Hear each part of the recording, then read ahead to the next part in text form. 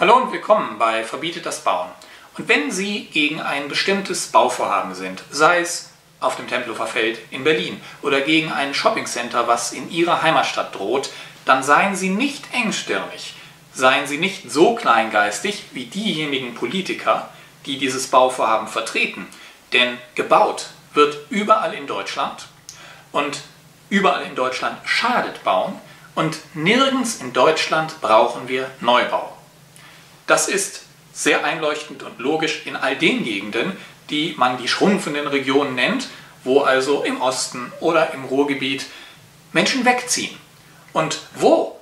Ja, manchmal das Motto ist, also weniger Menschen, mehr Häuser.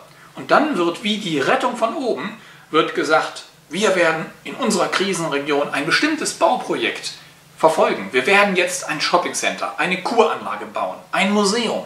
Und das, sagt die Baulobby, sagen Politiker und Investoren, das wird dann unsere Stadt nach vorne bringen.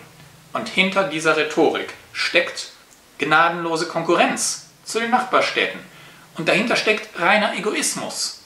Denn es sollen nur die Einwohner oder die Einkäufer der anderen Stadt abgeworben werden. Tun Sie sich also zusammen mit Ihren Nachbarstädten und sagen Sie kein Neubau in unserer Stadt und kein Neubau in der Nachbarstadt. Und in den boomenden Großstädten Deutschlands lassen Sie sich nicht anstecken von der Hysterie um Wohnungsnot. Es gibt keine Wohnungsnot in Deutschland. Es sei denn, man betrachtet es schon als Wohnungsnot, wenn man nicht für 500 Euro im Monat eine 100 Quadratmeter Wohnung am Hackischen Markt in Berlin bekommt.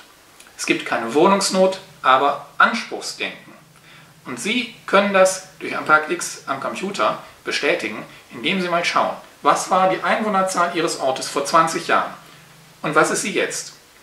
Und wie groß war der Bestand an Wohnungen vor 20 Jahren?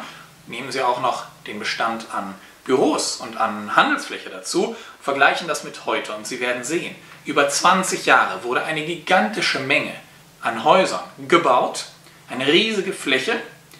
Und das wesentliche Problem ist, dass wir heutzutage auf immer größerer Fläche arbeiten und wohnen. Platzverschwendung ist unser Problem. Und wenn wir damit aufhören, dann können wir auch mit dem Bauen aufhören. Das heißt, wir sollten unsere Häuser und unsere Städte anschauen. Die sind gebaut. Und wenn wir die vernünftig nutzen, wenn wir Leerstand beseitigen, wenn wir zusammenwohnen, in Wohngemeinschaften, in Alt- und Jungwohnprojekten, in Mehrgenerationenwohnen, dann brauchen wir keinen Neubau. Wenden Sie sich gegen das Projekt, was Ihnen besonders am Herzen liegt, was Sie besonders stört.